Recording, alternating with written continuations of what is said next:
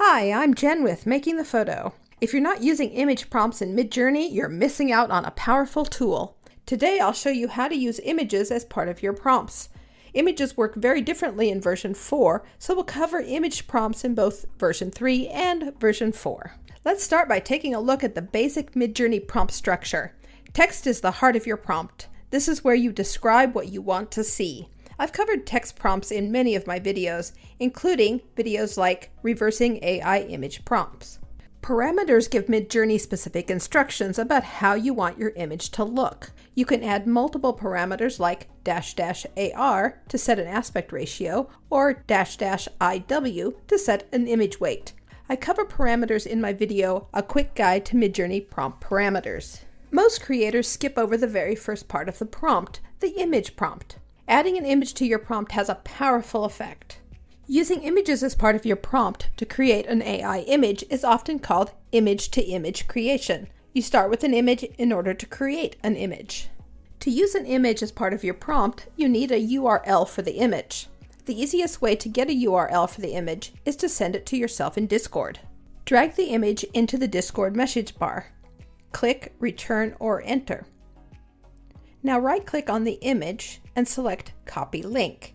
If you're using a cell phone, hold to copy. You're going to start your prompt with the reference image. Paste the URL into your prompt. The URL will be quite a bit longer at first, but Discord will shorten it down to something that looks like this. Elements from your image will work with the written prompt. Midjourney uses the image as inspiration. Here's a simple text prompt. If I add an image by a popular artist, the Midjourney dragon becomes more detailed. The image makes a difference, but not a huge difference. That's because the default image weight in Midjourney is 0.25. Practically, this means that your image is weighted about 20% and your text prompt is weighted about 80%. Image weight, or IW, is a parameter that tells Midjourney how much you want the image to affect your results. To increase image weight, type dash dash IW and a number after your prompt. If you bump the image weight to 1, the image and the prompt are about equal in weight. This makes a big difference in the overall image. The dragon is much more like the reference image. You can enter a really high image weight number like 100, but practically you won't see much difference past 5. Let's compare the results of this simple dragon prompt with various image weights. Image weights only work in versions 1, 2, and 3 of Midjourney. At the time of this video, Midjourney version 3 is the default. Image weights don't work in version 4.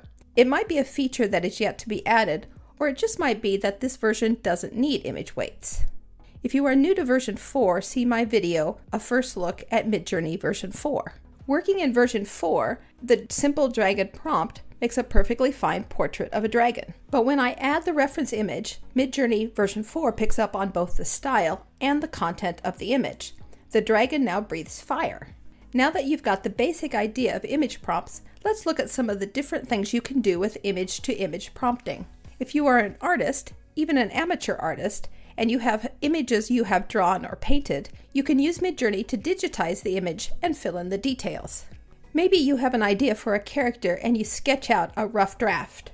Take a photo of your sketch and add it to Midjourney. Copy the link and add a few key descriptions to give Midjourney an idea of what you want.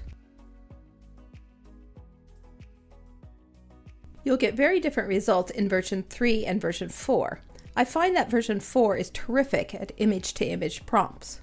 You can also use Midjourney to blend two or more images together. Simply add the two image URLs into the prompt and go. No text is required. Let's blend these two very different dragons together. You can blend in both version 3 and version 4, but again, version 4 is much better at blending without a text prompt. By blending images, you can place a character in a scene. One image is a character, one image is the scene. Add the two URLs and maybe a few details to the text prompt, and you're ready to mix. You can blend any number of images. I'm not certain that there's a limit. I chose four of my photos and popped them into version 4. No text prompt at all. The result is interesting. I got a strange Frankenstein effect. If I give Midjourney just a little bit of information to work with in the text prompt, I get a much better result. One of the images that you feed through Midjourney might be an image of yourself. Now you're making AI selfies. Add your own image as part of the image prompt and let Midjourney bring you into the image. Here is the result without an image prompt. And now the result if I add my own headshot as part of the prompt. Here I am now part of the image. I can add myself into an AI generated image by blending two images. Here's my headshot and an AI generated photograph. This makes me want to dig out some younger photos of myself and make a new headshot. Blending images like this only really works in Midjourney version 4. Re-roll a couple of times and you'll have some options to choose from. This blending technique works even better if you have multiple images of yourself in different poses. Here are some wedding shots that I took off of Pixabay. Unfortunately, one of the images flagged the not safe for work filter. I'm not certain why, but we can blend the other two together.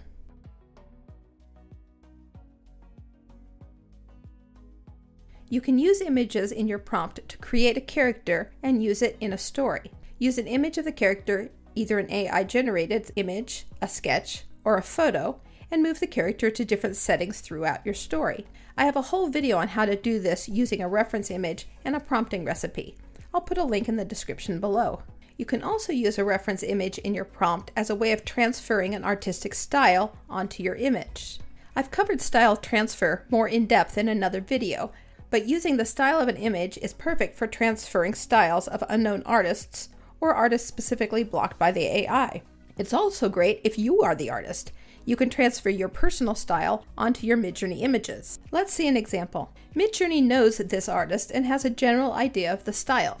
But look what happens when we remove Klimt's name from the prompt and add one of his artworks instead. Midjourney picks up on the artistic style and also adds content of the composition. Let's take this one step further. Say you're walking down a street in London. You see something amazing and take a photo with your phone, or in my case, my Sony a7R III. You don't know the artist or how to describe the artwork.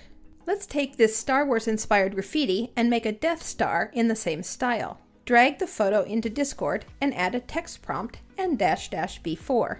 It's that easy. You now have a Death Star to go with your Millennium Falcon.